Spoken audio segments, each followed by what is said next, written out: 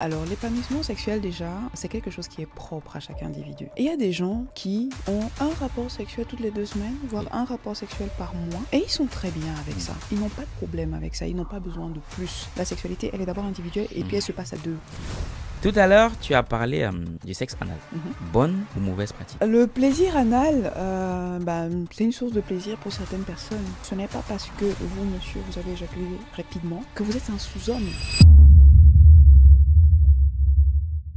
Ce 5 octobre 2024, du côté de Space 22 et 6 à Ouagadougou, la maison d'édition Argent Livre vous invite à la troisième édition du Week-end de l'écrivain.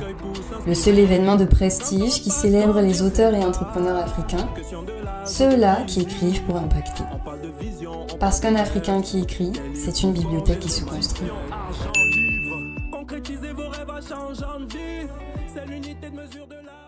Bonjour ma personne personnelle, j'espère que tu vas bien et qu'il t'arrivera des choses bien. Aujourd'hui, comme le veut la petite coutume, nous accueillons sur ce plateau une personne, c'est une dame, une fois de plus, et qui va nous entretenir sur un sujet assez épineux, surtout lorsqu'on est africain. en tout cas, je sais que c'est un sujet qui parlera à beaucoup de gens, si ce n'est à tout le monde. Bref, tu l'auras compris, aujourd'hui on parlera de sexualité. Bonjour docteur. Bonjour Valère. Comment tu vas? Très bien, très bien. Et toi? Si, je vais super bien. Super. Donc, euh, pour la petite histoire, j'ai fait, le- j'ai fait la, la- la découverte du docteur Paul Moko il y a un peu plus de trois mois. Et puis, j'ai suivi plus ou moins ce qu'elle produisait sur les, sur les réseaux sociaux. Et lorsqu'on a lancé le, le studio Ultimate Pod dans lequel nous sommes en train de tourner actuellement, je tiens à dire que c'est le docteur Paul Moko qui inaugure euh, l'espace Golden League Series dans lequel on fait ce, ce podcast. C'est un honneur. Je me suis dit, bon, cette femme, il faut qu'on l'ait. Ceci d'autant plus que c'est après que j'ai découvert qu'elle est du continent. Décidément, on doit tout faire dans ce pays. Bref, j'ai trop parlé. Donc, euh, je vais laisser le soin au docteur se présenter. Docteur Paul Moko, Oui. comment tu préfères que je t'appelle Docteur Paul Moko, Paul Vinolia, comment tu préfères que je t'appelle? Comment est-ce que tu es confortable? Moi, tout me va. Alors choisis. Ah, ok, d'accord, parfait. Moi, je vais préférer Paul, du coup. Je Donc, Paul. C'est moi. Qui es-tu? Pour ceux qui te découvrent aujourd'hui. Euh, Paul Moko, médecin. Médecin généraliste et sexologue. Hmm. Et donc, euh, à travers mon activité vi- digitale, j'y arrive, sur les réseaux sociaux, euh, j'aide les personnes à à résoudre leurs troubles sexuels et à retrouver une sexualité épanouie. Sexualité épanouie. Je vais revenir là-dessus tout à l'heure. Nous y reviendrons. Bref, tu l'auras bien compris, on va parler de sexualité avec le docteur et la qualité à pouvoir en parler. C'est pas une personne qui s'est levée un matin et s'est dit bon, j'ai eu quelques expériences et désormais, comme on en voit beaucoup, coach en beaucoup de choses. Bref, on en reparle. On va parler à bâton rompu des sujets qui dérangent. Bref, tu me connais. Ça, c'est quoi l'épanouissement sexuel? Euh, J'ai envie de te demander déjà pour toi, Oui. c'est quoi l'épanouissement sexuel? Aujourd'hui, c'est moi qui pose les questions. Non, non, je sais, c'est fait exprès. C'est fait exprès, je sais Oui. pas. Tu sais pas Non. Alors, l'épanouissement sexuel, déjà, euh, c'est quelque chose qui est propre à chaque individu. Mm. Euh, J'ai tendance à dire que quand on va voir une personne, euh, quand les gens viennent me voir en consultation, ils me disent Oui. Docteur, je veux une sexualité épanouie. Je leur demande pour vous déjà, c'est quoi? Quand vous mettez épanouissement, vous mettez quoi dedans? Il y a des gens pour qui avoir une certaine fréquence de rapport sexuel par semaine, c'est important. S'ils n'ont pas cette fréquence, euh, peu importe le, le- le- comment dire, le- la sensation, peu importe ce que ça peut leur procurer, Oui. ils sont focus sur la fréquence. Et s'ils ne l'ont pas, ça génère une forme de frustration. Je la fais courte. hein, Oui, pour, bien sûr, euh, bien sûr. Voilà, non, ça génère une forme de frustration. À ce moment-là, ils ne sont pas épanouis sexuellement lorsqu'ils n'ont pas le nombre. Et pour eux, l'épanouissement sexuel passe par le fait d'avoir 3, 4, 5 rapports sexuels par semaine. Par semaine, oui. Et il y a des gens qui ont un rapport sexuel toutes les deux semaines, voire Oui. un rapport sexuel par mois. Et ils sont très bien avec Mm. ça. Ils n'ont pas de problème avec ça. Ils n'ont pas besoin de plus. Tant que le rapport sexuel, pendant le rapport sexuel, ils peuvent ressentir des choses agréables et ça leur procure une forme de bien-être. Ça génère une sécrétion hormonale qui les comble, qui les satisfait pour une certaine période, pour une certaine durée. Et voilà, ça ne génère pas de frustration.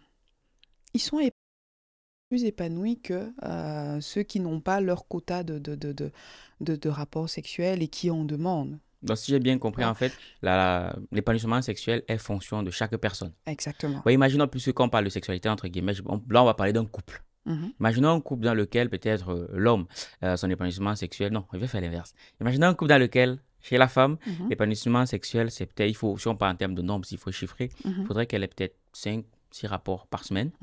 Et l'homme, lui, lui en faut un ou deux. Du coup, comment est-ce qu'il pourrait faire pour pouvoir s'accorder? Ben, ça dépend. Il y a Mhm. beaucoup de choses qui rentrent en ligne de compte. Euh, pour s'accorder, euh, on a tendance à dire oui, il faut trouver un compromis. Mais le compromis, c'est toujours un peu, un peu difficile parce qu'il y a les valeurs qui rentrent en ligne de compte. Hmm, Une femme qui a besoin, par exemple, de 5-6 rapports sexuels par semaine, Oui. encore une fois, je reviens sur le concept, la question de qu'est-ce qu'elle met dans le rapport sexuel? Oui. Est-ce qu'elle a besoin d'une expérience sexuelle systématiquement avec son partenaire? Hmm, Est-ce que dans l'expérience sexuelle, il faut absolument aboutir à un coït? Mhm. Est-ce que En français facile, le coït? Pénétration D'accord. Est-ce que dans le rapport, le contact sexuel, est-ce que dans l'expérience sexuelle, elle peut se satisfaire de quelque chose d'individuel? Oui. Tout ça, ça rentre en ligne de compte. Et en thérapie, justement, je tiens compte de tous ces paramètres-là pour savoir comment essayer de trouver le meilleur compromis possible.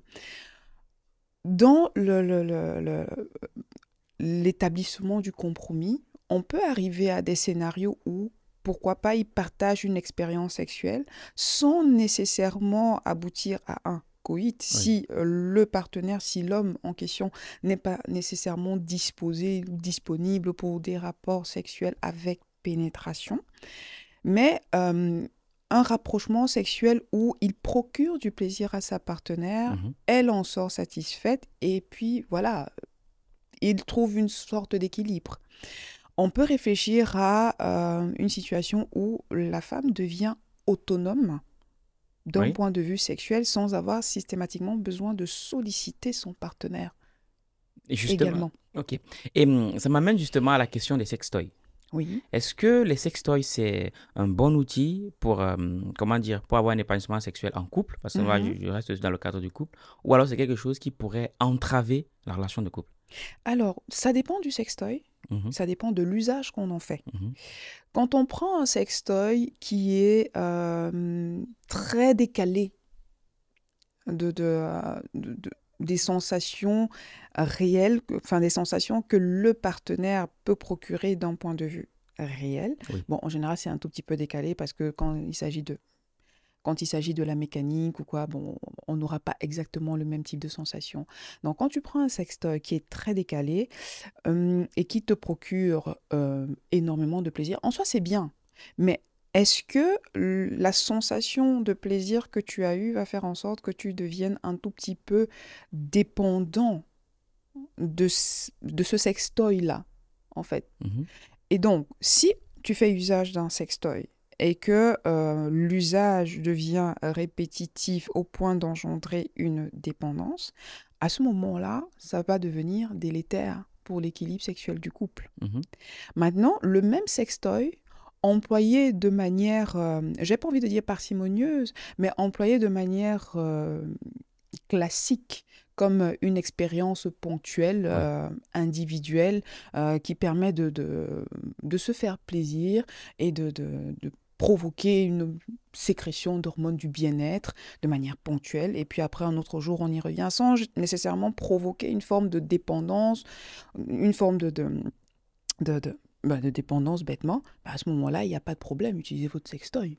Donc, euh, est-ce que euh, vous, en tant que médecin aujourd'hui, vous recommanderiez à un homme ou à une femme d'avoir recours au sextoy? Ça dépend. Mm. Est-ce que c'est quelque chose qui rentre dans la conception de la personne? Parce que la personne peut euh, vouloir, euh, peut être ouvert, ouverte à l'usage du sextoy. À ce moment-là, oui. Mais une conception, ça se, ça se façonne, ça se fabrique au travers des informations que des personnes comme toi, qui ont qualité à pouvoir en parler, disent. ça se façonne, Oui. mais je, pense, je pars du postulat selon lequel les êtres humains sont aussi autonomes. Ils sont dotés d'intelligence. Et très Et c'est à influençable aussi. eux, ils sont influençables, mais c'est aussi à eux de faire un travail intérieur et de Oui. savoir qu'est-ce qui me correspond et qu'est-ce qui ne me correspond pas. Je ne suis pas là pour donner des réponses toutes faites. Je suis là pour donner des pistes de réflexion. Donc, je, je n'ai pas la science infuse et en Oui. sexualité, il y a encore énormément de choses à découvrir. Je ne suis pas fermée à l'usage du sextoy. Oui. Je ne suis pas non plus euh, en train de dire oui, utilisez les sextoys, euh, machin, etc. Non, ce n'est pas Mhm. mon discours. Mais si quelqu'un vient et me pose la question, du sextoy. Je dis voilà les avantages, voilà les inconvénients du sextoy. Et maintenant, c'est à vous de choisir ce que vous voulez pour ce, par rapport à ce sextoy-là. Donc, si on vient me dire oui, est-ce que je peux utiliser un sextoy? Est-ce que vous recommandez le sextoy? Est-ce que vous, vous êtes ouvert à l'usage du sextoy? Est-ce que vous pensez dans votre tête que c'est quelque chose qui peut apporter une plus-value Oui. à votre épanouissement sexuel individuel ou en couple? Oui. Si la personne me dit oui, ok, à ce moment-là, on réfléchit dans la catégorie des sextoys. Qu'est-ce que vous recherchez comme sensation? Qu'est-ce que vous recherchez? Est-ce que vous voulez quelque chose, un stimulateur clitoridien? Mhm.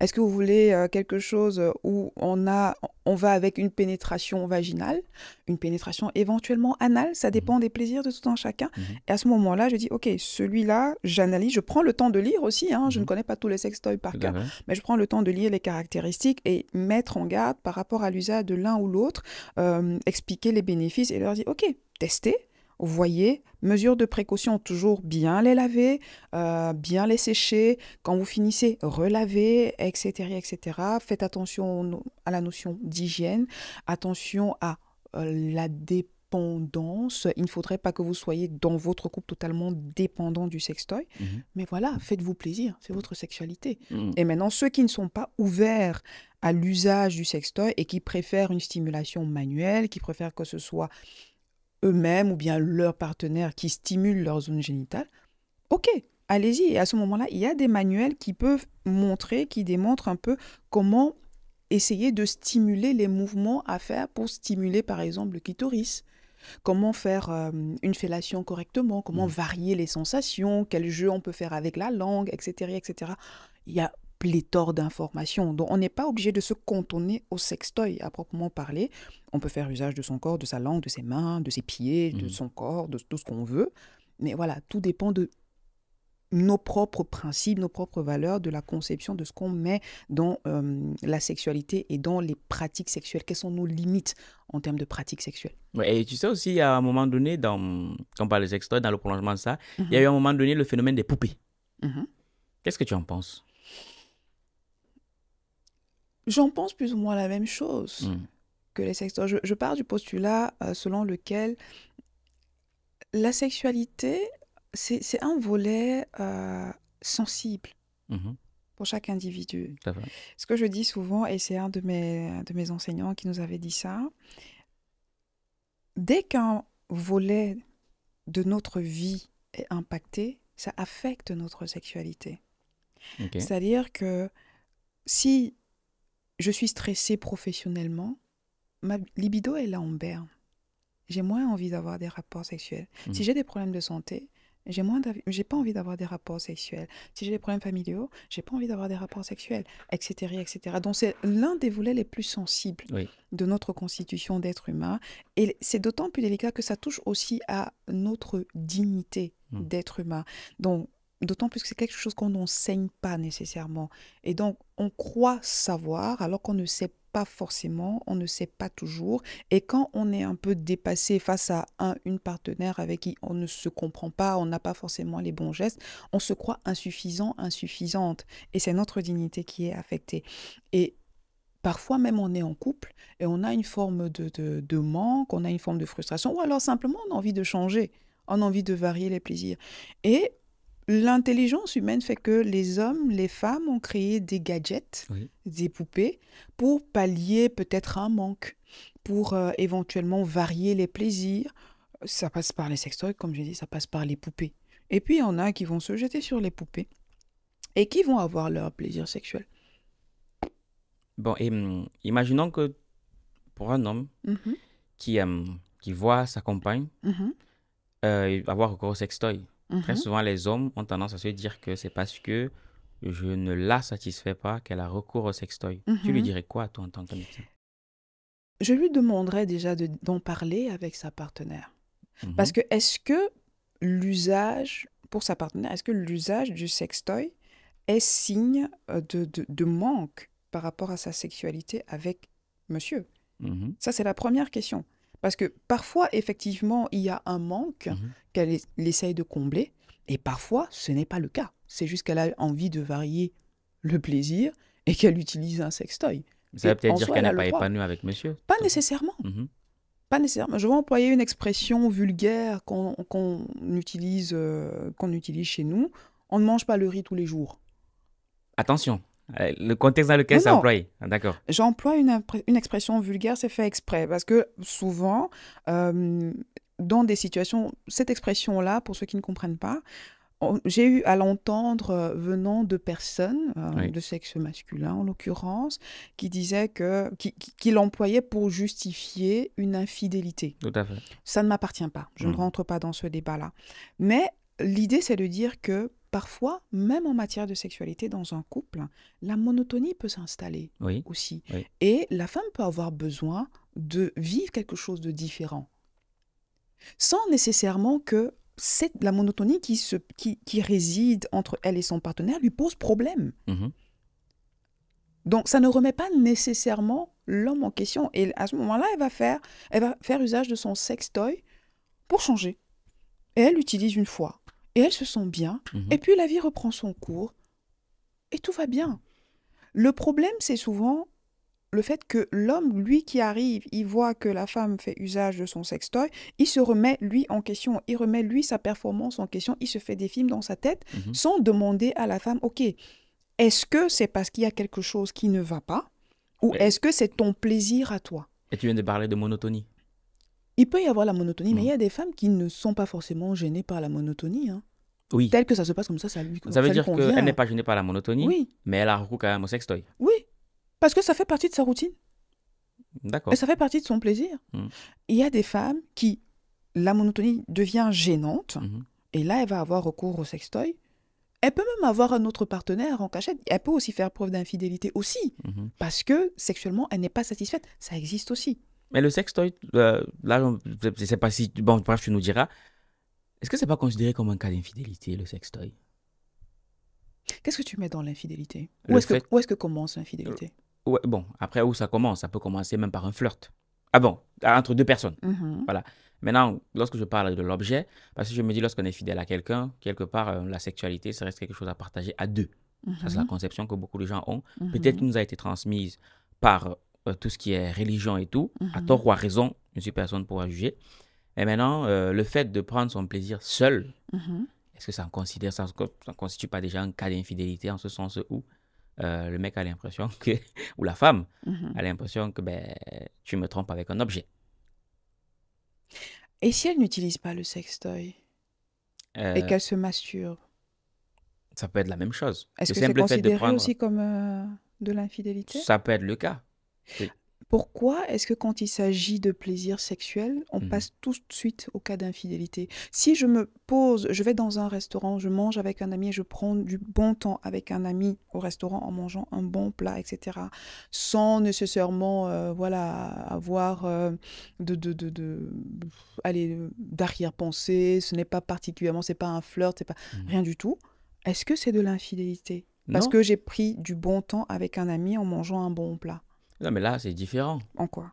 En ce sens où, euh, quand on parle de couple, il y a très souvent cette notion de relation intime quand on parle d'un couple.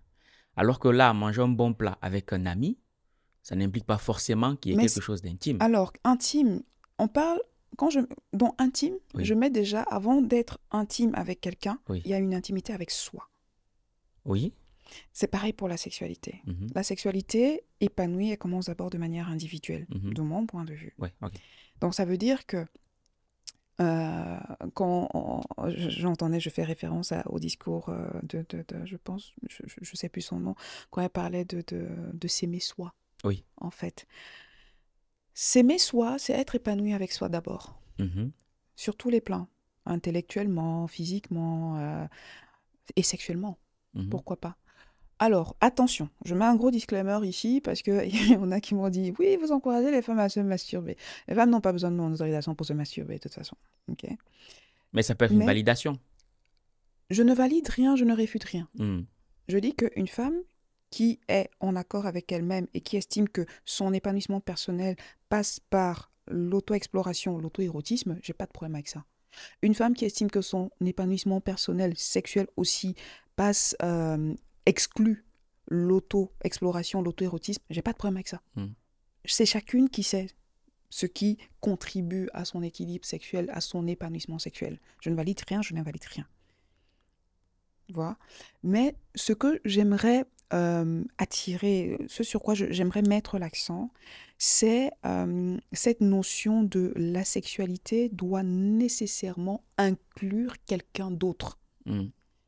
La, la sexualité doit forcément faire intervenir un, même si c'est notre partenaire, doit nécessairement faire intervenir un étranger. Mhm. Parce qu'au final, le partenaire, la partenaire, c'est d'abord un étranger. hein. Est-ce que le discours comme celui-là, moi je suis l'avocat du diable, bref, tu me connais, Mhm. est-ce que ce n'est pas quelque chose qui tend à fragiliser les couples? En ce sens où chacun se dit, ben, au final, un homme me sert à quoi? Je suis indépendant. Ça peut être une femme aussi, hein, mais c'est Mhm. juste que c'est un discours très souvent qui vient de la part des femmes. C'est Mhm. pour ça que je, prends, je fais un peu cela. Je suis indépendante. Mhm. euh, sexuellement, je m'épanouis toute seule. Mhm. Euh, mais à quoi va me servir un homme? Alors, euh, je crois qu'il faut. euh, je, je parlais du, du fait que de- on, on ne mange pas le, le- le- le même plat tous les jours. jours. J'aime bien cette, cet adage-là.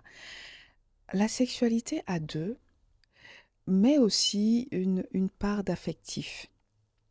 C'est une conception, un cadre différent, c'est une conception différente, c'est un vécu différent, ce sont des sensations différentes, c'est pas Mm. tout à fait pareil.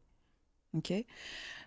Je ne dis pas qu'il faut vivre en autarcie, c'est pas ce Mm. que j'ai dit.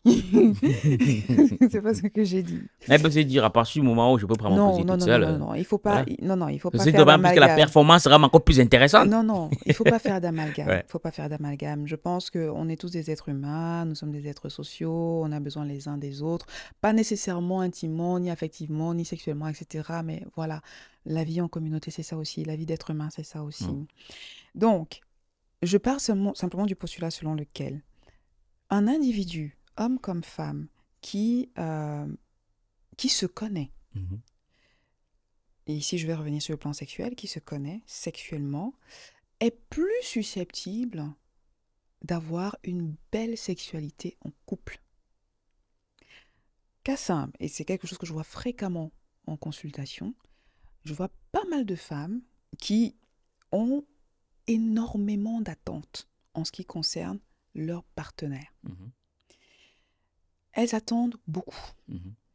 Elles, elles veulent euh, de leur partenaire euh, que ces derniers les satisfassent euh, à chaque fois, d'une certaine manière, etc.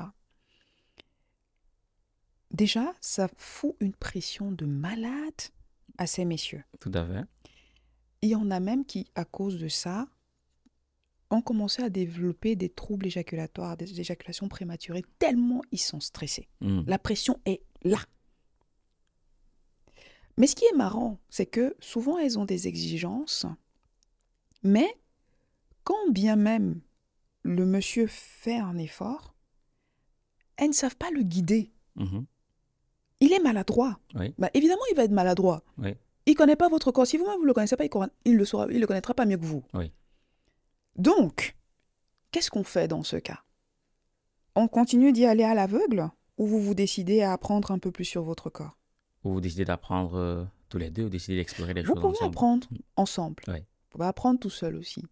Je pense que apprendre ensemble, ça nécessite une bonne dose de confiance. Mhm. C'est une chose qui, contrairement à ce qu'on peut penser, n'est pas toujours présente dans les couples. Mhm. Une bonne dose de confiance, mais quand je dis confiance, c'est je lui fais confiance dans ce sens que je ne me sentirai, je ne serai pas jugée, Oui. quel que soit ce qui va se passer. Euh, il sera à l'écoute. Il comprendra mon ressenti. Il respectera mes limites. Et vice-versa. Le réciproque est vrai aussi, en Mhm. fait. Et c'est pour ça que je me dis c'est important, pour les hommes comme pour les femmes. Il ne s'agit pas juste d'une catégorie de personnes, de bien se connaître, de connaître ses besoins, aussi bien physiques, sexuels que affectifs, émotionnels, et de pouvoir mettre des balises pour dire, OK, j'ai besoin de ça pour être épanoui, même affectivement. Mhm. Dans ma vie affective, peut-être que je suis quelqu'un qui, qui aime euh, les câlins, Oui. Qui aime les marques de tendresse. Il Oui. faut pouvoir l'exprimer Oui. et ne pas simplement lâcher euh, des, des- des trucs, euh, des, des- messages subliminaux comme ça. Euh, oui, pourquoi tu fais pas ça? Pourquoi tu... Non, non, il faut dire, moi, pour être épanoui, Mhm. intimement, sexuellement, j'ai besoin que tu me serres dans tes bras, j'aime ça. Oui. Je me sens désirée, Oui. je me sens aimée. Ça m'excite quand tu me caresses le dos de cette façon-là. Tu fais bien de parler de ça parce qu'il y a beaucoup le Et moi, ma question ici, c'est de savoir, tu as parlé aussi tout à l'heure des, des femmes qui, elle a de la femme qui attendait Mhm. que son homme fasse X, Y. Et très souvent dans le discours des femmes, c'est, de ce que j'ai entendu en tout cas, c'est euh, j'attends de mon homme qu'il fasse X, Y pour que j'ai envie de. Mhm. vois? Et dans cette posture-là, on a plus l'impression que euh, la femme, elle est dans l'attente, elle, elle est passive, elle n'est pas active. Mhm. Et selon toi, euh, qu'est-ce qui expliquerait cela? Et deuxièmement, comment faire pour qu'une femme, elle, soit plus active? Ne pas être toujours dans l'attente, mais être plus active dans le OK, euh, je veux ça, je vais chercher chez mon partenaire. Tu peux refaire Très souvent, Mhm. les femmes sont dans l'attente. Dans, quand tu le disais, c'est un Mhm. discours que j'entends très souvent, c'est j'ai besoin que tu me fasses ci, j'ai besoin que tu me fasses ça pour que on puisse faire ça, ça et ça. Et ça met les femmes dans une position d'attente. Elles sont très passives Mhm. parce qu'elles attendent que la démarche vienne de lui. Et elles, du coup, elles ne sont pas dans la démarche de je vais aller chercher, je vais la mener à faire ça. Mhm. Voilà. Et donc, euh, pourquoi est-ce que les femmes sont beaucoup plus dans l'attente plutôt que dans la dans l'action? Et comment faire pour les femmes qui sont dans l'attente pour qu'elles comprennent que, bon, une sexualité, ça se vit à deux. Mhm. Et donc, il faut qu'elles apprennent qu'elles doivent aussi aller chercher. D'accord. Alors, j'aimerais déjà corriger un petit quelque chose. Il ne s'agit pas que des femmes. Mhm. Les hommes aussi sont dans cette posture. Ils agissent peut-être différemment, Mhm. ils posent le- leurs euh, demandes différemment, mais ils sont aussi en attente. À mon avis, ce Mhm. que j'ai souvent vu euh, en consultation et avec les couples, c'est qu'il y a un, un défaut de communication et, et de compréhension des besoins Ouais. de l'un et de l'autre. Alors, je prends le cas de la femme pour commencer. La femme, elle dit j'ai besoin que tu. Souvent, elle ne. Ce, ce que j'ai souvent vu, elles ne disent pas que j'ai besoin de ça. Euh, j'ai besoin. En fait, elles, elles, elles donnent, elles ont tendance parfois à donner des injonctions. Mhm. Tu dois faire ça. Pourquoi tu ne fais pas ça? Toujours des, des- des- des- on, on dicte comme ça. Oui. Ça ne fonctionne pas très bien. Mhm. Je m'en suis rendu compte. Ce qui fonctionne mieux, la plupart du temps, c'est de formuler toujours en termes de jeu, Oui. de formuler ses besoins et de ce qu'on ressent. L'idée, c'est vraiment de les encourager Mhm. à s'exprimer en termes de leurs besoins et Mhm. de ce qu'elles ressentent. Par exemple, exemple bateau, euh, pourquoi tu ne me caresses pas comme ça? Mhm. Pourquoi tu ne fais jamais ça? Pourquoi tu ne me fais pas de cunilingus? Premier message. Compare à, tu sais, lorsque tu me fais le cunilingus, je me sens excitée. Mhm. C'est le même message, formulé différemment. Ouais. L'effet est totalement différent. Mhm. Donc, il y a euh, ce problème de formulation. Donner des injonctions, ok, lui, il a l'impression que tu lui dictes un truc. Ouais. Et que, voilà, il y a un truc euh, énorme qui va se jouer, ça lui faut une pression. Mhm. Ou alors, ça peut l'énerver aussi. L'effet, c'est contre-productif. Que quand on est dans, dans, dans une mouvance plus calme, il faut le cadre pour pouvoir communiquer, il faut le moment opportun, ça se travaille aussi. Euh, ça, je le travaille aussi en consultation. Donc, il faut le cadre et à ce moment-là, on exprime. OK. Essayez d'exprimer ça comme ça. Oui. Et exprimer ce que vous ressentez quand il agit comme ça. Oui. Et après, la consultation d'après, quand on se voit, comment est-ce qu'il a réagi? Avec mais vous aviez raison. Mhm. C'était quelqu'un d'autre. Je dis, ben voilà. Ok. Parfois, ce sont des petites choses. Mhm. Ça, c'est du côté de la femme. Donc, travailler, elles ont un certain... Souvent, hein, c'est ce Oui. que je vois. Ça peut... Il y a d'autres modes de, de- de communication, mais Mhm. la plus récurrente, c'est celle-là. Maintenant, euh, d'un point de vue masculin, ils ont tendance à être un peu, vous m'excuserez l'expression, euh, chers téléspectateurs, ils sont un peu bruts de décoffrage. C'est-à-dire, on y va. Mhm. C'est-à-dire, euh, euh, limite, ils, vont même un, tout petit peu forcer. Genre, euh, il se dit oui, il est très insistant, insistant, insistant. Il se dit que oui, euh, parfois quand il dit non, ça veut dire que quelque part elle, Elle dit veut, oui, insister, voilà, machin, je, je veux, je veux. Enfin, il, il veut quelque chose, Mhm. il a un besoin, mais dans l'expression, il est brut de décoffrage, ce qui fait que elle, elle- elle s- elle se braque et peut-être que le rapport sexuel pour la dame va devenir douloureux parce qu'elle n'est pas forcément préparée, elle n'est pas lubrifiée et la fois d'après, elle n'aura pas nécessairement envie. Mhm. Lui, il est convaincu qu'en fait, dans son, sa réticence, c'est un signe que oui, elle veut. Mais le principe est le même. Hmm. Pourquoi ne pas exprimer ce qu'on veut et d'exprimer ce qu'on ressent aussi? Ouais. Et parfois, chez les hommes, c'est un peu plus difficile de le travailler, ils n'ont pas beaucoup l'habitude. Hmm. Donc, pourquoi ne pas exprimer? Parce que parfois, euh, j'ai en souvenir comme ça euh, deux réflexions de, de patients différents d'ailleurs, qui disaient que oui, leur partenaire ne, euh, ne prenait pas d'initiative, Mhm. ne prenait pas les devants. Et du coup, ils ne se sentaient pas désirés. Hmm. Et ça les, ça les décourageait. Mhm. Et à un moment, je leur ai dit, mais vous savez, vous pouvez aussi lui dire, j'aime quand tu prends les devants, Hmm. j'aime quand tu me provoques, quand tu Mm. m'allumes, ça m'excite. Mhm. J'aimerais que, euh, voilà, j'imagine un de mes fantasmes, c'est euh, d'arriver comme ça un soir, euh, je te vois avec ma chemise à Mm. moi, et puis tu as peut-être, je sais pas moi, un porte-jartel en Ouais. dessous, et tu m'as fait, je sais pas, un plat exotique, lumière Mm. tamisée, tu as fait Mm. garder les enfants. Donc tu as mis une logistique en place. Ça, ça m'excite, ça, ça Mm. me réveille, par exemple. Mais c'est une manière d'exprimer, au lieu de dire que, oui, euh, avec mon ex, on faisait ça. hein. Euh, ouais, avec telle fille, je faisais ça parce que, je sais pas, j'ai souvent vu ça chez les hommes africains. Ils ont tendance à, à re- à relater un peu leurs expériences passées avec leurs euh, leurs ex-partenaires parce qu'ils se disent que la femme va tilter dans sa tête que, en fait, c'est ça qu'ils aiment. Non, elle constate juste que on est en train de la comparer avec une autre femme et on est en train de lui dire qu'elle est insuffisante.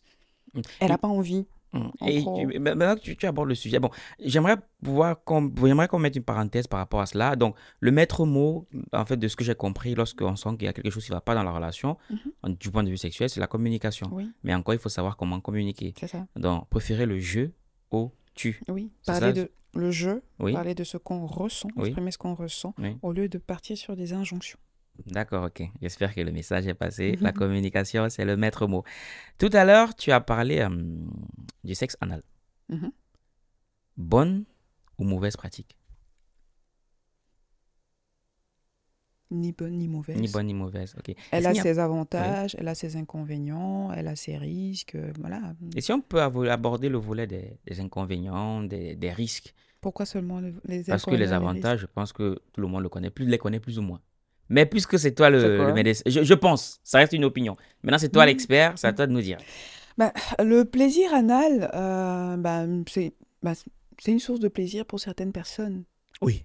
C'est une source de plaisir, c'est une... euh, Alors, déjà, la région anale, c'est une zone érogène. Mm. Après, il y a des gens qui sont plus ou moins confortables avec la stimulation de la région Mm. anale. Euh, et pour stimuler la région anale, bah, il faut faire attention quand même à certaines choses. Euh, Mm. Tu es médecin aussi, je ne t'apprends rien. Il faut faire attention Ah, à... c'est pas pour moi que tu parles, hein, c'est Oui, oui. vous qui nous. On va développer, mais voilà, je ne t'apprends rien. Il faut faire attention à l'hygiène, Mm. en l'occurrence. Il faut vraiment faire Pourquoi attention faire attention à l'hygiène? Euh, bah, parce que hum, c'est via l'orifice anal quand même Mhm. que les matières fécales sont évacuées. En Mhm. soi, au niveau du, du- du- de, de la région anale à proprement parler, c'est pas là que c'est pas tout au bout de la région anale que voilà le- le- les selles sont stockées, c'est un peu plus haut. Mm. Mais vu qu'on défèque, bah, il y a des résidus qui sont là, donc il faut faire attention quand même à l'hygiène. Mine de rien, euh, le sphincter anal, euh, mon prof d'anatomie disait, euh, bah, il est fait pour s'ouvrir de manière à laisser passer les éléments dans un sens. Oui. Donc, pour faire passer des éléments dans l'autre sens, il faut faire attention, il faut être préparé. Mm. Et donc, euh, dans un rapport sexuel, euh, il y a la notion de stress qui intervient beaucoup. Mm. Et quand le stress intervient, ça provoque une forme de contraction musculaire. Contraction musculaire aussi au niveau des muscles qui se situent au niveau de la région du périnée et donc du sphincter anal. Mm. Donc, il faut être préparé à ça. Donc, il faut, en général, je suggère de masser, Oui. de faire des massages au niveau de la région anale, délicatement, pour détendre le sphincter en l'occurrence. Il faut faire usage de lubrifiant. Lubrifier, lubrifier, Mm. Il faut. lubrifier. Il faut. Voilà. C'est- il faut. Il faut. Ok. Il faut. Alors, la salive. Et si tu permets, Oui. s'il faut, ça veut, est-ce que on doit, s'il faut absolument avoir recours à un produit artificiel, Mhm. est-ce que ça ne demande pas le fait que ce n'est pas euh, un organe qui est prévu pour l'acte sexuel? Mais, alors, je me dis, comme fait- beaucoup de gens, que Dieu ou Allah ou peu importe comment on l'appelle, a conçu le, corps humain avec des fonctions. Et il a mis en place certaines choses. Bon, beaucoup de gens pensent. Bah, J'ai envie de dire, euh, le fait d'enfoncer des doigts dans le vagin, c'est pas à la base. Euh, non, quoi. Mm-hmm. Tu vois, dans le développement euh, de, de, de, de, de, de, l'homme, les différents stades d'évolution, enfin, le rapport sexuel, on n'était pas censé mettre des doigts dans le vagin, quoi. Mm. Tu vois? Mm. Mais on le fait. C'est pas une. Tu vois? De la sexualité. Qu'est-ce qu'on met dans conception occidentale? Donc, euh, Qu'est-ce qu'on met dans conception africaine? Dans certaines, dans la tête de plusieurs Africains, dans les traditions telles que ça nous a souvent été véhiculé, Mhm. c'est dans la sexualité, c'est l'organe sexuel masculin qui va dans l'organe sexuel féminin. Oui, Voilà. Bon, après, je vais être franc. oui, Je vais pas dire que j'ai lu une étude là-dessus, oui. mais je me fie à l'expérience commune de ce que j'ai aussi lu à lire par-ci par-là. Et très souvent, euh, les l'util- le recours au, au sextoy, Mhm. le recours au, au sexe anal Mhm. a été véhiculé très souvent ou vulgarisé par euh, les films pour adultes. Mhm. Tu vas me dire si je me trompe. Sauf que je crois aussi. La pratique du sexe anal remonte à beaucoup plus longtemps que le, le- le- les films, la, création des films pour adultes. Nous sommes d'accord. Mais euh, comment dire ça? C'est quelque chose qui a vulgarisé euh, le sexe Mhm. anal. Mhm. Donc, est-ce que, étant donné qu'on sait que le, le- le- tout ce qui est film pour adultes, Mhm. déjà avant, parce que j'ai pas envie d'aller plus vite que la musique, parce que je voulais d'abord te poser la question de savoir, est-ce qu'avoir une éducation sexuelle à partir des films pour adultes, c'est une bonne chose? Et avant de revenir sur cette question du, du, du sexe Bon, anal, je commence par quelle, Bon. par quelle question? Commençons par les films pour adultes, étant donné que c'est en- très souvent c'est eux qui ont vulgarisé Mhm. euh, cette pratique-là. Mhm. Donc, est-ce que selon toi en tant que médecin et les consultations que tu as au quotidien, est-ce que avoir recours à ce type de contenu vidéo, Mhm. c'est une bonne chose pour l'épanouissement sexuel d'une personne? Ça dépend. Ok. Alors, les films pour adultes, euh, ça dépend de ce qu'il y a dans le film pour adultes en question. Les films pour adultes, malheureusement, servent parfois de repère à des personnes qui n'ont pas de repère. Ouais. Ça, c'est d'un. Et donc, ils s'en servent pour avoir une idée de comment ça se passe sexuellement. Les films pour adultes, pour d'autres personnes, c'est un moyen d'avoir des stimulations, un niveau d'excitation, de stimulation plus important. Oui. Aussi, Mhm. pour sortir un peu de ce qu'ils ont dans le quotidien Mhm. également. Les films pour adultes, comme je disais, ça peut euh, devenir, euh, pour revenir au repère, ça leur permet aussi de se fabriquer des formes de fantasmes, parce que je le vois souvent en consultation, il y a des, personnes qui ont, qui ont du mal à avoir des fantasmes. Mhm. Et ça leur permet d'avoir euh, des idées, ça les inspire. Donc tout dépend du film en question, de l'usage qu'on en fait Mhm. en gros. Maintenant, euh, ce qu'il faut savoir, c'est que une surconsommation Oui. de films pornographiques peut complètement flouter l'imaginaire et euh, vraiment formater la pratique sexuelle. Mhm. Donc, ça veut dire qu'on n'a que ça. On a que le... le- le- la- ce n'est que ça, c'est le seul repère et on, on s'adonne à ce type de pratique. Mm. Et quand je parle de ce type de pratique, c'est des pratiques un peu hard, qui se veulent parfois même un peu, euh, un peu violentes, un peu misogynes, etc., etc. Après, chacun son kiff. Chacun son kiff dans la sexualité. Il y a des personnes qui aiment dans la sexualité que ce soit un tout petit peu plus hard, Mhm. et tant que ça les épanouit, moi j'ai aucun problème avec ça. Mhm. S'ils s'inspirent du film, j'ai pas de souci. Là où moi je vais intervenir et là où je vais sensibiliser, c'est quand je m'adresse à des personnes pour qui ça devient une forme de frustration. Il y a des personnes qui deviennent addictes au porno, Mhm. qui n'arrivent plus à avoir une sexualité sans s'inspirer du film pornographique Mhm. et ça, ça se répercute sur leur vie sociale et Mhm. sur leur vie de couple aussi. Ouais. Tu vois? Donc, c'est vraiment en fonction du film, de l'usage qu'on en fait, de la fréquence de consommation. Il y a plein de paramètres Et toi aujourd'hui, rentrent en ligne de compte. imagine, euh, est-ce que tu recommanderais l'usage des films pour adultes? Ça dépend. Quel film pour adultes? J'ai dit film pour adultes. Lequel? Il y a plusieurs catégories. Lequel? Je te dirais film pour adultes. Lequel? Peu importe. Et j'insiste Hmm. dessus. Ça dépend duquel, Mhm. en fait. Alors, il y a une catégorie que j'ai envie d'appeler euh, film érotique ou alors non, pas film éro- érotique, mais audio, les audios érotiques, que je propose parfois aux patients, parce que ça leur permet de développer un peu leur univers fantasmatique. Mhm, C'est de l'écoute, Mhm. et puis dans votre tête, dans votre cerveau, mhm. il y a un truc qui est en train de se créer, des images qui sont en train de se créer. Et ça vous permet de tenter des choses en couple, des choses un peu différentes. Ouais. Certaines personnes pourront assimiler ça à de la pornographie. Moi, je dis, OK, contenu érotique audio pour stimuler un peu l'univers fantasmatique Mhm. des gens. Donc, c'est pour ça que je dis, ça dépend duquel. Maintenant, le visuel, un film euh, pornographique, est-ce que je recommande? Je ne vais pas nécessairement recommander Mhm. parce que je ne sais pas sur quoi la personne va aller tomber, je ne sais pas ce que la personne va aller chercher. Mhm.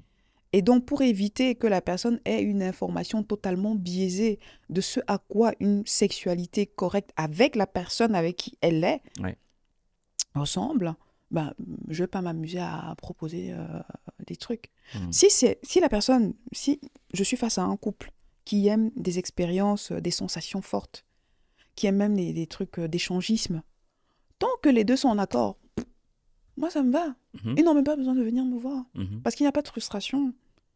Mais si je suis face à un couple où il y en a un qui est à fond euh, échangisme et l'autre qui est plutôt réservé, quelque chose de plus conventionnel, traditionnel, etc., et que ça génère de la frustration, à ce moment-là, on fait appel à moi. Tu D'accord. Donc c'est toujours une question d'équilibre. Non, est-ce que je recommande? Non, c'est en fonction de la situation. Qu'est-ce Hmm. qui se passe en dessous, D'accord. en fait Et hum, est-ce que tu penses que je suis africaine? Mhm. Est-ce que tu penses qu'il y a une sexualité européenne et une sexualité africaine? Je pense qu'il y a une sexualité. C'est tout. Point. Et que chacun définit les critères de sa sexualité. Chacun définit les critères de sa sexualité épanouie. Alors là, ça- à t'entendre, Mhm. on est beaucoup plus. hum, J'ai beaucoup plus l'impression, tu Mhm. me diras si je me trompe, d'entendre hum, des discours européens. En ce sens où, en- je Mhm. vais finir, en Europe, euh, on se centre tout sur la personne. Mhm. Euh, dans la communauté africaine, c'est le, le bien-être de la communauté passe avant le bien-être de la personne. Mhm. Et donc, voilà pourquoi je demande, est-ce que tu ne penses pas que il y a une sexualité propre aux Africains en raison de leur culture, Mhm. une sexualité propre aux Européens en raison de leur culture aussi? Je pense qu'il y a une sexualité. Et histoire de, de- de- de déconstruire un tout petit peu les idées reçues, les problèmes sexuels Mhm. des personnes d'origine européenne ne sont pas très différents des problèmes sexuels des personnes d'origine africaine. Mhm. Parce que des fois, on va se dire que euh, les personnes européennes, euh, ouais, ils ont des trucs, euh, machin, des trucs qui sortent de, de- de l'ordinaire, alors que chez les Africains, c'est plus, c'est pas vrai ça.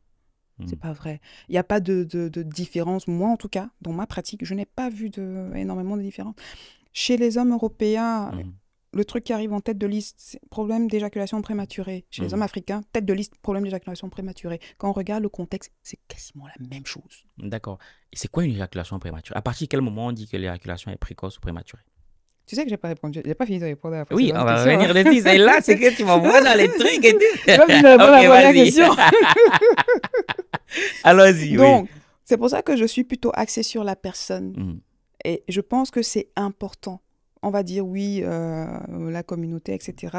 Même dans la communauté, pour le bien-être de la communauté, il faut déjà être bien avec soi. Mhm. Si tu n'es pas bien avec toi, Mhm.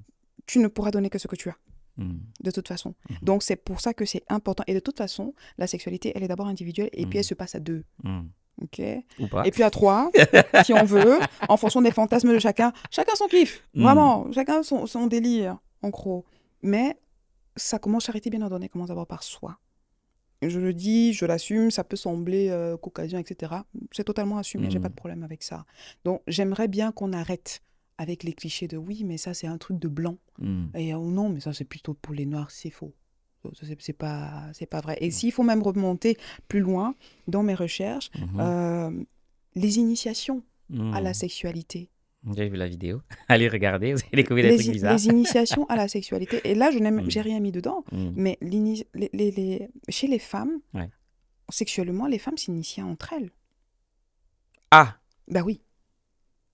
J'ai l'impression que ça se poursuit un peu parce que très souvent, euh, les femmes parlent beaucoup plus de la sexualité entre elles, et alors que les hommes, c'est beaucoup moins.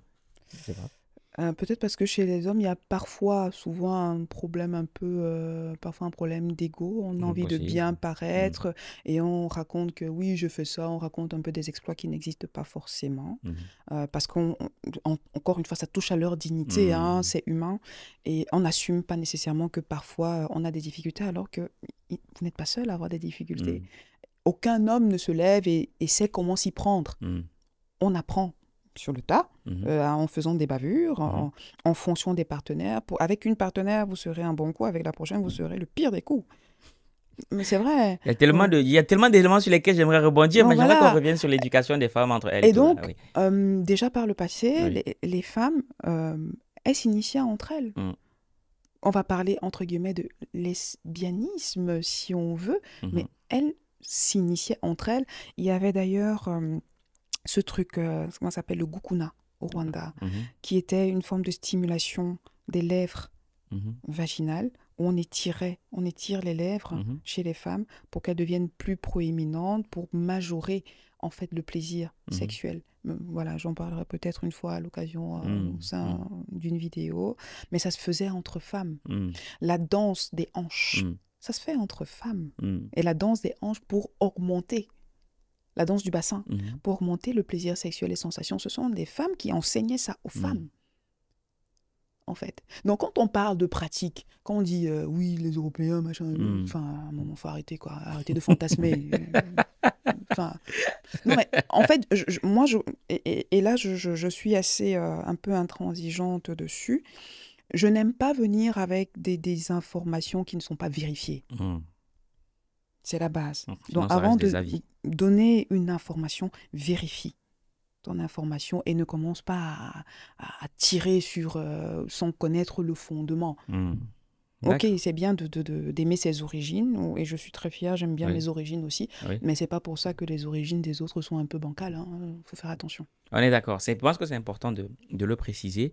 Et donc, euh, pour revenir à ma question, c'est la question de l'éja- l'éjaculation précoce. Mhm. À quel moment on estime qu'une personne elle souffre d'éjaculation précoce Est-ce que c'est parce qu'elle a fait deux minutes? Est-ce que c'est parce qu'elle a fait une minute? Est-ce que c'est parce qu'elle a fait cinq minutes? C'est quoi l'éjaculation précoce? Alors, souffrir d'éjaculation précoce. Alors, euh, déjà, euh, quand on parle d'éjaculation prématurée, on parle de moins de deux minutes de coït, Mhm. voire même une éjaculation Avant, avant le coït. On parle d'éjaculation antéportasse. Ou alors euh, de 15 à 20 va-et-vient maximum au moment de la pénétration. Mhm. Et ça, c'est en termes de, de timing avant l'éjaculation. Et on parle de maintenant souffrance quand il s'agit d'un problème qui devient récurrent depuis 3 à 6 mois, Ok, en gros. d'accord. Et donc, euh, je sais que par rapport à la- à l'éjaculation précoce, Mhm.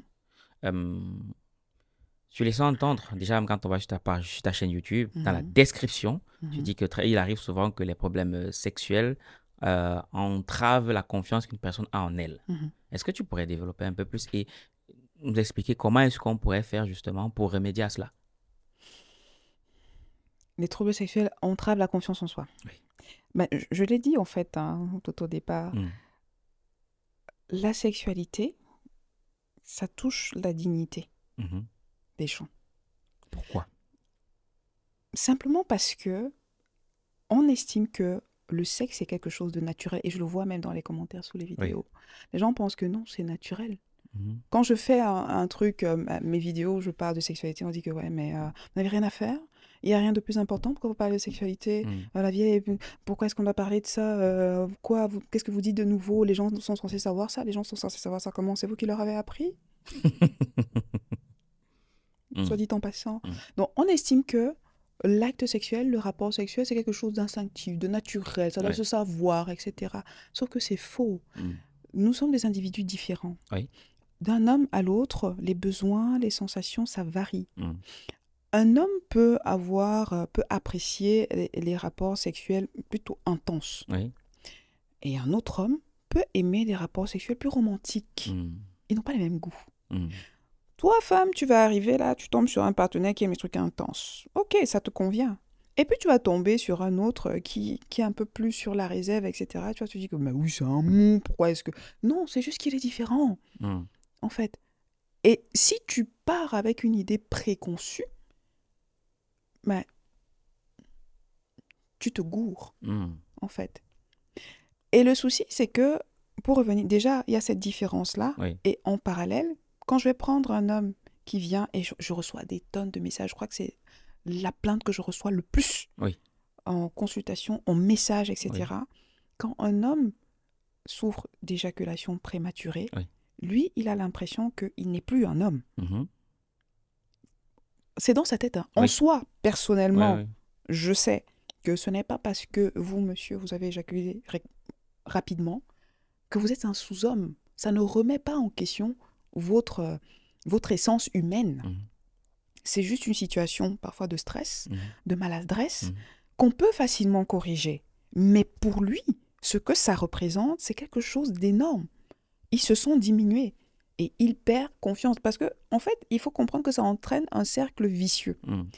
Il va éjaculer une première fois, Oui. rapidement. Ok, fine. S'il est en face euh, d'une partenaire qui euh, n'a pas forcément le tact, pas parce qu'elle ne veut pas, hein, mais peut-être parce qu'elle ne sait pas, qui n'a pas forcément le tact, euh, qui peut-être l'infantilise en disant oui, mais c'est pas grave, ça va aller, machin. Il n'a pas nécessairement envie que tu l'infantilises. Ou alors que tu dises, euh, mais t'es qu'un nul, machin. Mhm. Ça, ça le stresse aussi. Oui. Bon, si, si, et en général, c'est ce qui se passe. La Mhm. partenaire en face n'a pas forcément les bons outils pour le rassurer. Et lui-même, peut-être, il n'a pas l'équipement nécessaire pour s'auto-rassurer. Oui. Le rapport sexuel suivant, il éjacule peut-être encore rapidement. Ça devient lourd un peu pour la partenaire. Oui. Le rapport sexuel d'après, il a l'impression que c'est sa relation qui est en train de se jouer là. Mhm. Que si ça ne va pas, Joe, ça va finir. Mhm. Joe, tu vas éjaculer encore plus vite. Oui. Gage. ça crée un cercle vicieux. Et là, il commence à avoir l'impression qu'en fait, il n'arrive pas à satisfaire une femme. Mhm. Comment le dire à ses amis? On va se foutre de sa gueule, Ouais. en vrai. Donc, il garde ça pour lui, il reste renfermé. Il suffit de quelques séances de consultation et c'est parti. hein. En Tu, fais, tu- tu fais bien d'en parler parce que tout de suite, il y a deux mots qui me viennent à l'esprit c'est Poutoulou ou Mhm. Atote. Je sais pas si tu vois ce que c'est. Vite fait. Ok, bon, je vais peut-être expliquer pour ceux qui ne savent pas. Euh, au Cameroun, j'ai souvent vu dans les discussions, Mhm. euh, il y a une espèce de petite poudre qui est toujours dans un, dans un petit flacon. Mhm. Et c'est une poudre appelée Poutoulou en ce sens où ben, c'est un élément qui permet aux hommes d'être euh, plus performants. Mhm. Et moi, j'ai deux questions par rapport à ça. C'est pour quelqu'un qui, à la base, n'a pas de problème euh, d'éjaculation précoce, mais qui va être plus performant, Mhm. peut-être lié à ce qu'il a vu ou bien ce qu'il a entendu, Mhm. est-ce que tu recommanderais l'usage de ce type de produit? C'est le premier volet. Mhm. Et deuxième volet, lorsqu'on a un problème, euh, l'usage de ce type de produit, qu'est-ce qu'il faut prendre comme précaution avant de les utiliser? Ok.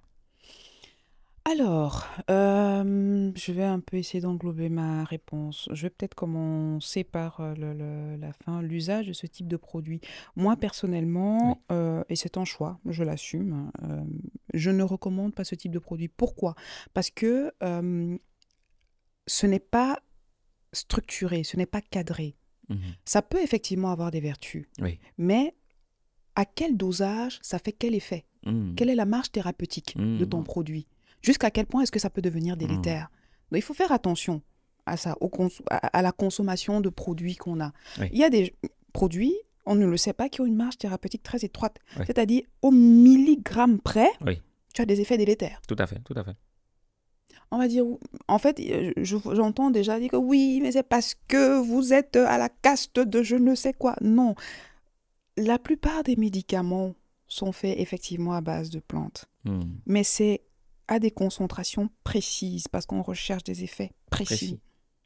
Et donc, il faut vérifier que ce médicament-là, avec la, la- la- la substance active à l'intérieur, quand je dis médicament, ce produit-là, avec la substance active, il faut vérifier que le dosage en question est correct et ne va pas en- engendrer des effets secondaires délétères.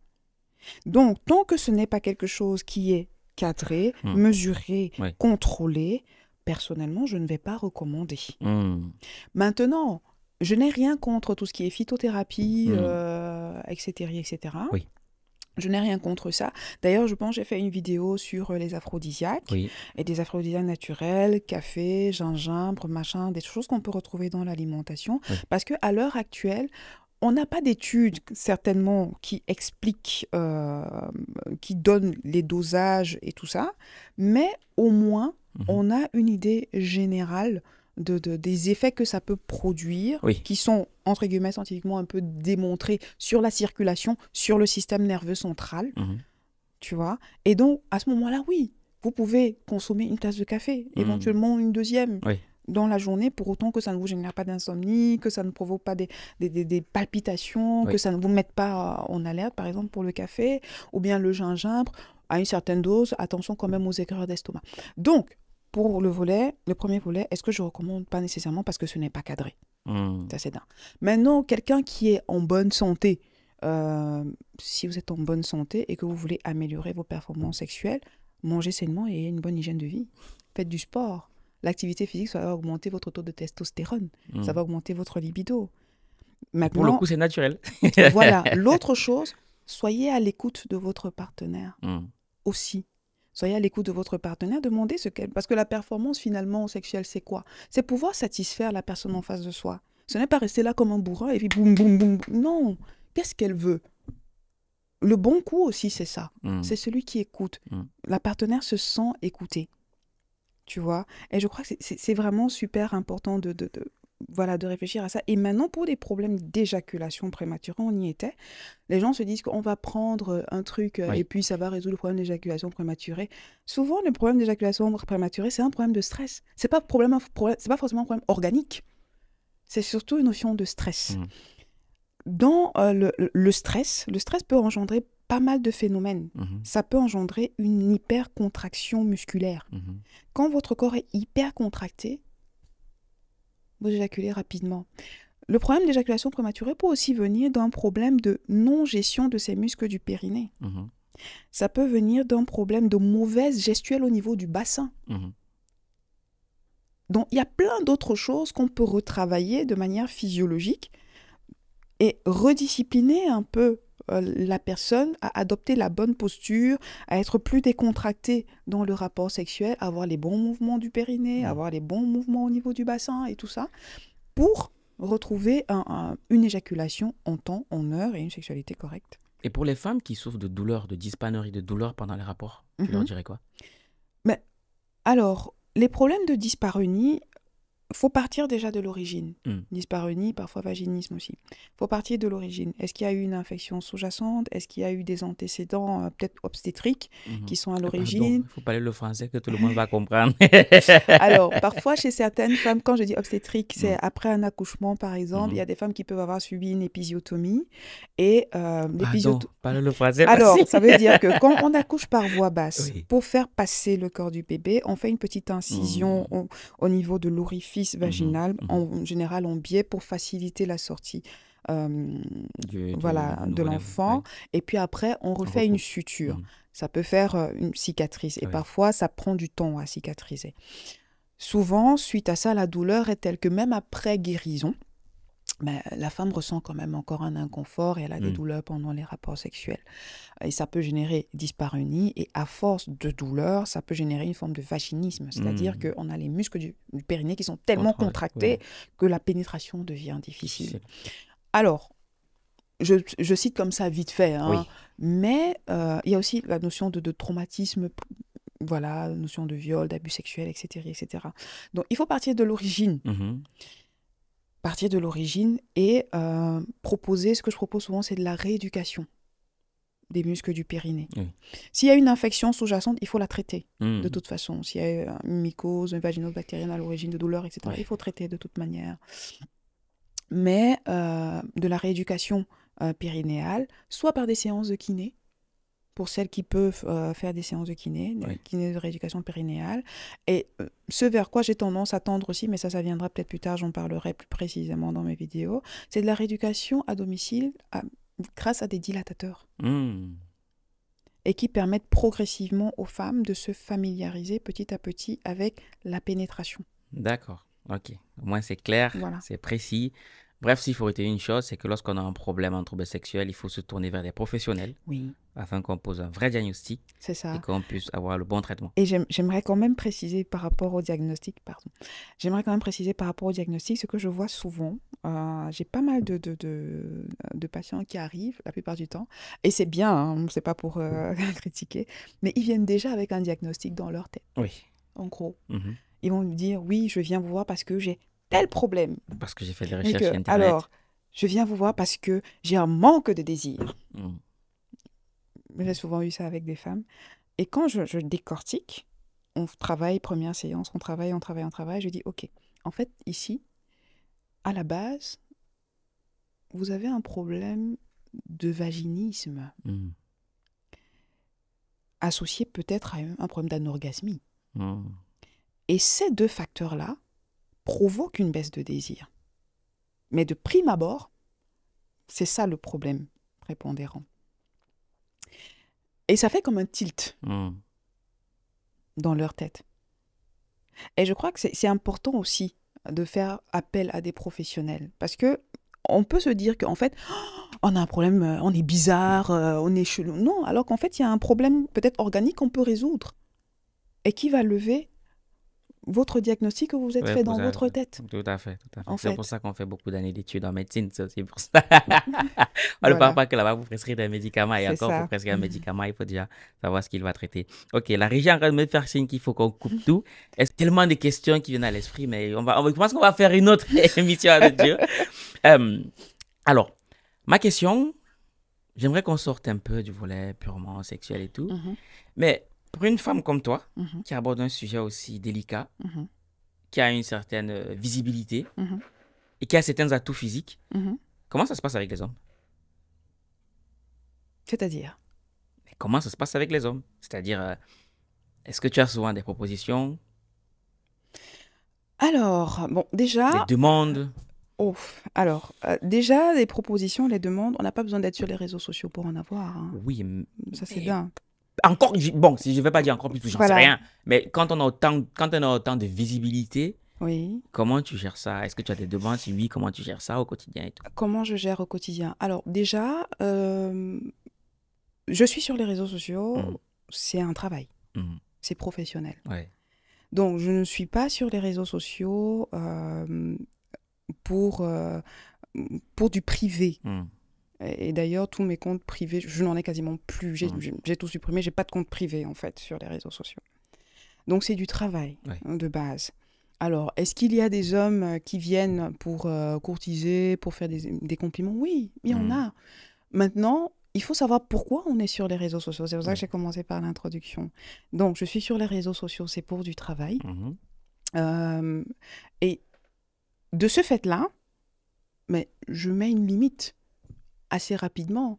Et les limites, on peut les faire assez facilement. hein. Je veux dire, euh, euh, on n'a pas besoin de, de- de vous compter fleurettes, de vous écrire des, des longs poèmes pour que Ouais. vous sentiez que bon, la personne, en fait, vous l'intéressez, Ouais. vous l'intriguez. Je dis, ça passe par des petits messages subliminaux, Mm. des compliments euh, répétitifs, etc., etc. Et c'est à vous maintenant. euh, moi, en tout cas, je choisis d'y répondre ou de ne pas y répondre. En général, je ne réponds pas. D'accord. Et est-ce que des fois tu as eu des, des, des- des critiques qui t'ont qui ont fait que tu te remettes en question, que tu te demandes pourquoi est-ce que tu fais ça? Alors, des critiques qui ont fait en sorte que je me remette en question. euh, Des oui. remarques, oui. Alors, des critiques, oui. euh, souvent, c'est souvent venu de confrères, mais des critiques qui me permettent de, de, de revérifier aussi mes sources et de retravailler mon sujet. Mm. Et ça, j'aime bien. Quand euh, quelqu'un vient me dire, par exemple, en commentaire ou en message, oui, mais je pense qu'ici, il y a peut-être une précision à apporter. Je dis, ok, super, merci.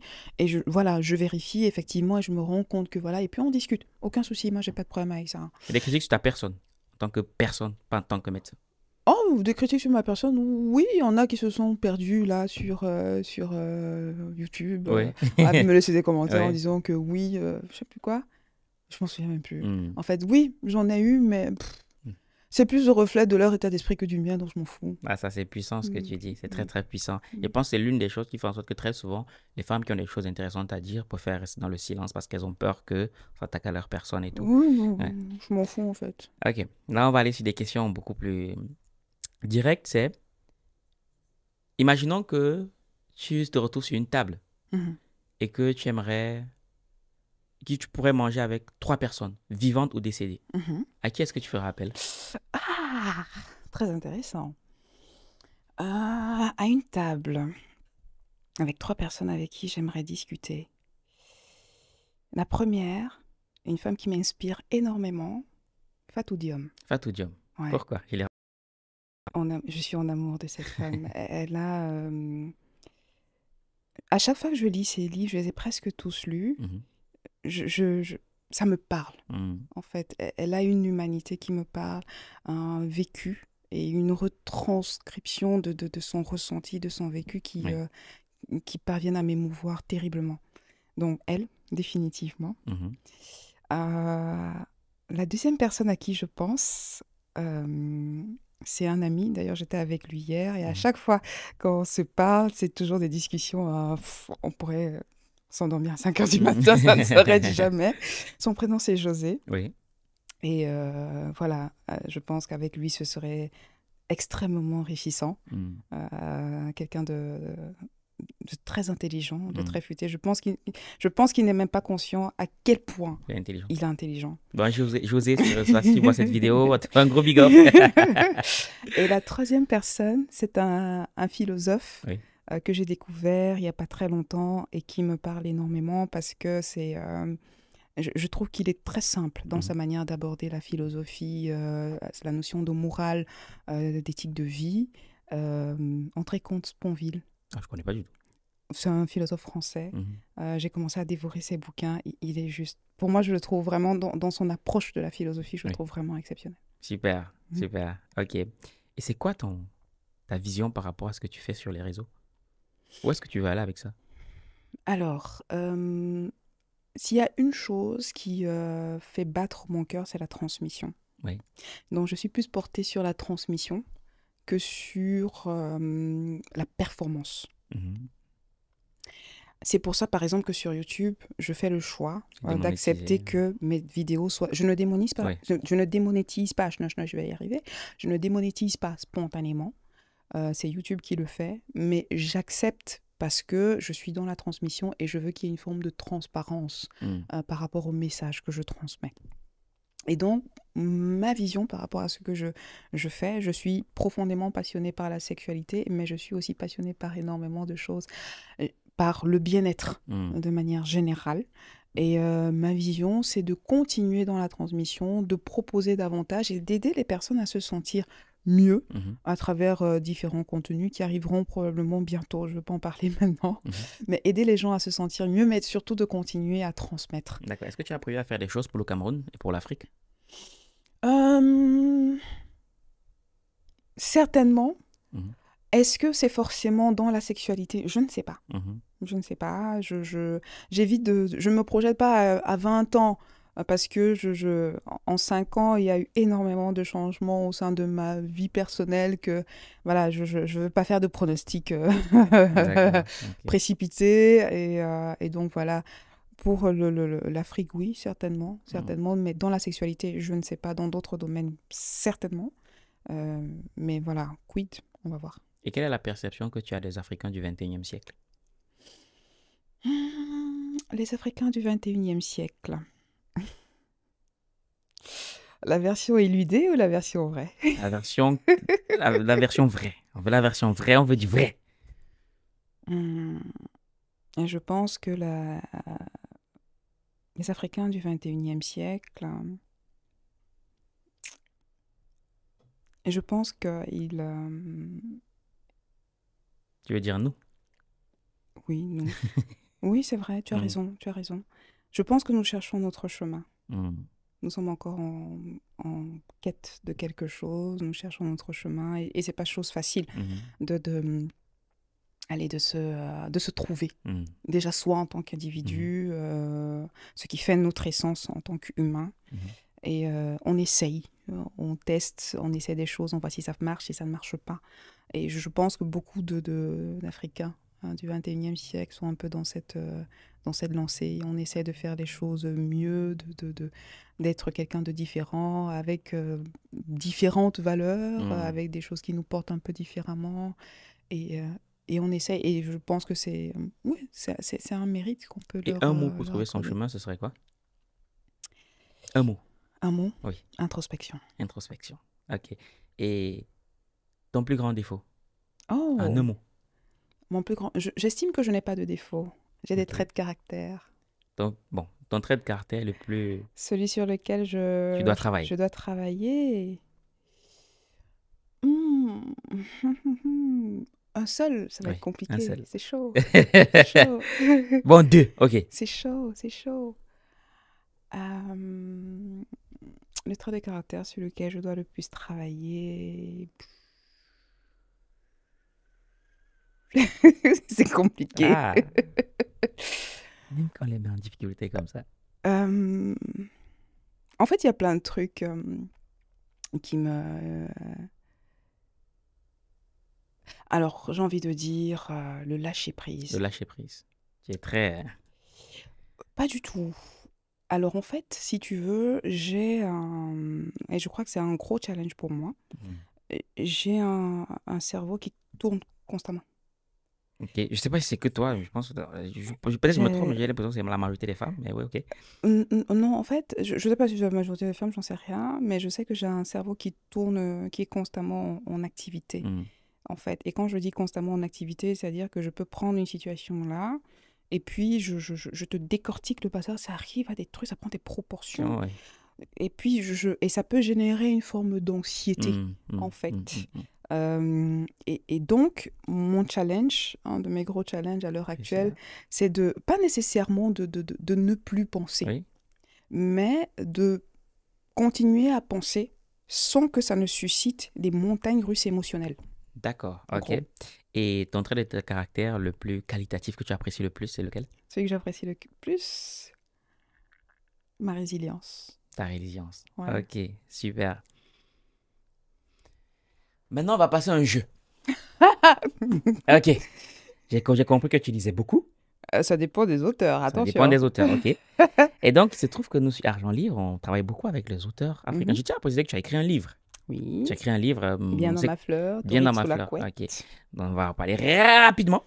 Euh, là, entre mes mains, j'ai trois livres Mhm. d'auteurs qu'on a eu à accompagner. Mhm, Je vais te présenter un par un. Tu vas Mhm. me dire lequel est-ce que tu aurais choisi de lire en premier. mhm. Ok. Alors, le premier, c'est celui de Nina Dotia, intitulé Guérir de l'acné. Elle est Mhm, d'origine ivoirienne. mhm, Elle fait beaucoup dans tout ce qui est production de produits cosmétiques pour la peau et tout. mhm. Je pense que sur la photo, ça se voit, il y a eu un avant et un après. Voilà. Je te le remets, tu, tu le gardes. Ensuite, on a monsieur Yao Tanuma Roger, qui, comme par hasard, lui aussi, il est ivoirien. Et le titre de son livre, c'est Le pouvoir des livres. C'est Mhm. un monsieur qui réside en Côte d'Ivoire, c'est un pasteur qui lit énormément. Mhm, Et donc, il y a quelques mois, il nous a contactés. Il nous a dit qu'il souhaitait qu'on travaille avec lui sur son livre. mhm, Et donc, on a bossé dessus. Et à l'édition, du week-end de l'écrivain 2023 sur Paris, on l'a fait venir de la Côte d'Ivoire. Il a été conférencier. D'accord. Voilà. Donc, parmi les, on travaille avec l'Afrique et justement, on a cette possibilité d'inviter les auteurs avec qui on a travaillé en Afrique pour qu'ils viennent euh, être conférenciers en France. Bon, moi, c'est l'une de, c'est c'est l'une de nos plus belles victoires parce qu'on s'est dit, ça veut dire que le message passe et que, bon, si l'ambassade valide, ça veut dire que quand même on reste assez crédible. Mhm. Je te le passe. Merci. Et le troisième, c'est celui de Ingrid Tandieu, qui était là hier. Comment gérer ses émotions en toutes... C'est comment gérer ses émotions en toutes circonstances. Elle, elle est d'origine camerounaise, elle vit en France. Mhm. Et donc, euh, c'est une dame qui est déjà coach dans tout ce qui est gestion du stress et autres. Elle aussi, elle nous a contactés parce qu'elle ouais, elle appréciait ce qu'on faisait. On a travaillé sur son livre qui est paru aux éditions Argent Livre il y a quelques mois. Mhm. Donc, je te le passe aussi. Mhm. Et donc, parmi ces trois livres, si tu devais en garder un, ça serait lequel? Le pouvoir des livres. Oui. Pourquoi? Euh, Alors, le pouvoir des livres, déjà parce que personnellement, je crois pouvoir des livres. Oui. Pour moi, la lecture, je lis beaucoup. Oui. Et pour moi, la lecture, c'est un anxiolytique. Mhm. C'est un outil bien-être. Oui. Euh, et ça me permet aussi de, de- de stimuler ma créativité. Mhm. Donc, je, je lis énormément. Il fut un temps où les, livres, ça ça devenait même un peu compulsif chez moi, en Mhm. fait. Et euh, parce que je sais le bien-être que la lecture et les livres m'ont procuré, que ce soit en termes de connaissances, que ce soit, comme je disais, en termes de bien-être, etc., Mhm. euh, j'y crois. Mhm. Maintenant, euh, étant donné que moi, je sais ce que ça me Oui. procure. Je suis curieuse de savoir ce que ça a pu apporter à, un pasteur. Oui, un pasteur. Justement, ce que ça a pu. Je sais que, bon, allez, euh, avec des études de théologie, Oui, forcément, forcément, ils, ils lisent aussi Oui, beaucoup, beaucoup, mais euh, voilà, je suis curieuse de savoir ce que ça a pu lui apporter, euh, en- lui en tant qu'individu, en tant qu'être humain, en tant que pasteur, Mhm. et pour ses, ses fidèles aussi, voir un peu euh, ce que ça a apporté, est-ce qu'il a vu un changement Mhm. dans la vie de, de, de ses fidèles, de sa communauté, etc. Donc, euh, je, je suis curieuse de le savoir. Donc, comme je t'ai dit, moi, c'est plus dans un, d'un point de vue santé, Mhm. euh, éthique de vie, morale, etc. Oui. Qu'est-ce que ça a apporté comme bénéfice? Ouais. D'accord. Non, on va te faire un cadeau. Antoine. Tu vas le garder et tu vas Ah. me remettre les deux autres. Voilà, ça, c'est le cadeau de la maison. Merci, Je c'est très gentil. Donc, euh, Je voilà. le dirai volontiers. Ouais. Et puis, là, on va faire un truc Mhm. assez particulier. Je tiens à préciser que tous les livres sont disponibles sur le site internet argentlivre.com pour ceux qui le veulent. C'est si tu avais une question à me poser, ça serait laquelle? Hmm. Si j'avais une question à te poser, ce serait laquelle? Bah, des questions comme ça, euh, c'est souvent dans le décours de la, de la discussion. J'aime bien creuser, euh, titiller approfondir un peu les réponses des gens, donc c'est un peu difficile de te, do- de te poser une question comme ça. Hum, Pourquoi tu fais ce que tu fais? Ah Pourquoi je fais ce que je fais? De la réponse est, est toute simple. hein. C'est que hum, j'estime que il est temps pour nous de montrer ce qu'on sait faire en tant qu'Africains. Il est temps pour nous de montrer que on a, les gens aussi ont à apprendre de nous. Je parle des gens, je parle des personnes non africaines. Mhm. Parce que je me suis rendu compte que très souvent, les Africains lisent les Européens. Mhm. Et même dans nos bibliothèques, ça c'est quelque chose qui m'a fendu le cœur. Je suis à la Ouagadougou, je suis à la Yaoundé, je suis allé au Gabon, c'est la même chose. Mhm. C'est que les références qu'on a sont toujours occidentales. Mhm. Et nos propres acteurs qui font des choses exceptionnelles, dans l'écriture, on va rester là-dedans, on a une très mauvaise connaissance de ces personnes-là. Très souvent parce que nous aussi, on ne sait pas communiquer sur ce qu'on fait. Et donc, je me suis dit, bon, il serait peut-être temps de donner de la lumière à ces personnes qui écrivent et qui Mhm. probablement ne sont pas connues. Et si tu remarques bien, c'est l'une des critiques que j'ai fait à l'auteur du livre que tu as entre les mains, c'est que il a énormément de références, mais je tiens à préciser, 98% des références qu'il a dans son livre sont des Américains. Ok. Et dans notre cheval de bataille, c'est de dire, OK, les Américains ont fait des choses, mais il faudra aussi que lorsqu'on va dans un endroit où il y a beaucoup de gens, qu'on dise que c'est le livre de Valérie Bélias qui m'a inspiré, qui est d'origine camerounaise, Mhm. c'est le livre de, Pascaline Kamokwe, c'est le livre de Herman, euh, le- le- le- de Herman euh, Kamga 2 avec son Mhm. livre Le marketing digital. Mais est-ce que tu ne penses pas que, est-ce que tu crois que c'est, euh, c'est pas plutôt un problème de valorisation? Parce que des écrivains euh, africains, il y en a. C'est ce que je dis, c'est qu'ils écrivent, mais ils sont pas connus. Est-ce que tu crois que c'est un problème de, de... Je sais pas comment formuler ça. Est-ce que c'est un problème de, de- de visibilité ou bien de crédibilité qu'on veut leur acco- accorder? Les deux. Les deux. Parce que déjà, quand tu es un Africain, déjà tout de suite, on se remet en question. Quand c'est un blanc, Parce que en soi, des... euh, je, je le dis parce que Mhm. en soi, des, des Africains qui écrivent des choses euh, sympas, je- Africains et territoires d'outre-mer, qui écrivent des choses vraiment canon, il y en a. mais pas tant que ça. Si aujourd'hui, je te demande de me citer trois auteurs africains ou d'outre-mer, tu m'en citerais. Vas-y. Euh, Christiane Taubira, Mhm. ben, Fatou Diom d'office. Ouais, tu me diras, ça sont des... Ce sont des anciens auteurs, mais Mhm. Ferdinand Oyono, Très bien. Bravo. tu vois? Donc, Très bien. Il y en a. Mhm.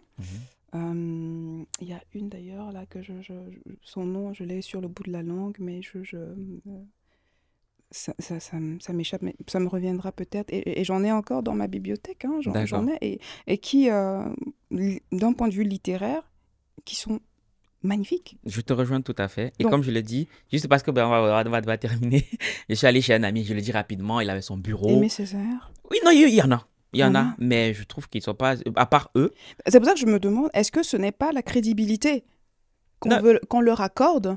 Est-ce que dans l'inconscient collectif, est-ce qu'on n'accorde pas davantage de crédibilité à des auteurs issus d'autres territoire qu'à des auteurs euh, Justement, africains? Est-ce que justement et cette crédibilité passe aussi par le fait que, je pense, quand on leur, quand on leur donne un plateau, un espace sur lequel ils peuvent montrer ce qu'ils Mhm. savent faire et ce qu'ils savent dire. Mais de toute façon, c'est sûr, ils écrivent des trucs intéressants, il faut qu'on communique dessus. Et très souvent, les auteurs que tu as cités, ils ont eu de la crédibilité parce qu'ils sont passés dans les médias occidentaux. Très souvent, c'était lié à ça. Bref. Et pour la petite histoire, j'étais allé chez un ami, il a un bureau, très beau bureau, il a, il a une bibliothèque, et j'arrive dans Mhm. sa bibliothèque, c'est un Camerounais, et dans tous les livres qu'il y avait dans sa bibliothèque, il n'y avait aucun auteur africain. Pourtant, il lit les auteurs africains. Je lui ai dit, mais gars, il y a un problème. Bref. Il ne va pas aller plus loin que ça. La régie est en train de me dire qu'il faut tout arrêter. En tout cas, merci beaucoup. Merci beaucoup, Merci euh, à Paul, d'avoir pris ce temps. Sachant que vraiment, tu as été très, tu as été à l'heure. Tu nous as laissé le temps d'installer. Vraiment, merci. Merci à Mhm. la régie derrière, Brandéo, qui nous a aidé à réaliser tout ceci. Et je précise, pour vous qui avez assisté à cette émission, ça a été tourné dans notre propre studio. Ultimate Pot si tu es en région parisienne, ça a trois- une demi-heure de la gare de Lyon. Et donc, si jamais vous aussi, vous souhaitez bénéficier du décor qu'il y a ici, de la logistique, si jamais vous n'avez pas envie de vous prendre la tête avec le montage vidéo, tourner la vidéo, bref, rendez-vous sur ultimatepod.fr. Vous avez un espace et il y a une régie qui va se charger de tout le reste. Merci beaucoup, Paul, pour Merci, le temps que tu nous as accordé. Et on se donne rendez-vous à notre prochaine vidéo. Minakano. Ce 5 octobre 2024, du côté de Space 22 et 6 à Waga 2000, la maison d'édition Argent Livre vous invite à la troisième édition du Week-end de l'écrivain. Le seul événement de prestige qui célèbre les auteurs et entrepreneurs africains, ceux-là qui écrivent pour impacter.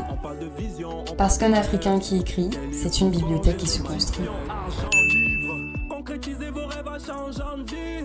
C'est l'unité de mesure de l'art.